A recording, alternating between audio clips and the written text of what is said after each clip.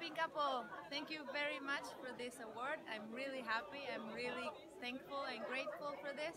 We worked really hard and we're very, very happy. And thank you, thank you, thank you so much and salud. See you in a couple years with a feature, hopefully.